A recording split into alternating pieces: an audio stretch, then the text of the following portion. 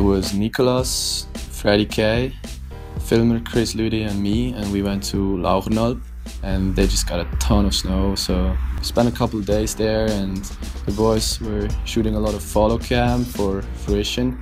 The storm rolled in and we were like it was blue in the morning, there's so much power, we were like tripping almost. But uh, we had some locals showing us around and uh, once the storm rolled in it was really wide out and they were like hey we have this this cave you can ride through. And we were like wow that sounds good. Once we got there we were like oh wow this is really special.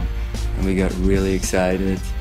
Um, there was only one take because once we rode through it we would almost have to hike around the whole mountain again we set up and uh, Freddie went first and I followed him. And yeah too bad Freddie's already gone but he's part of the cover.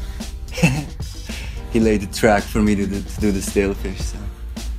As far as the photography goes there was pretty much only one angle to choose from for me.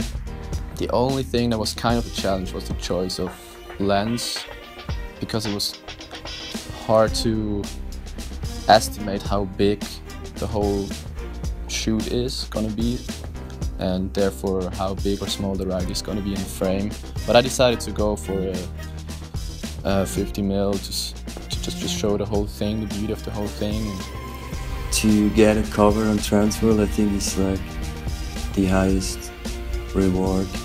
I think print is so important. It's it's timeless. You can hold it in your hand. There's no battery involved and um, otherwise we would be in Instagram even more. Big respect to Transworld for keeping print alive for the past 30 years. I mean, I wasn't even born 30 years ago, so um, and now having the cover and wrapping up their 30th season of print is a very special feeling for sure.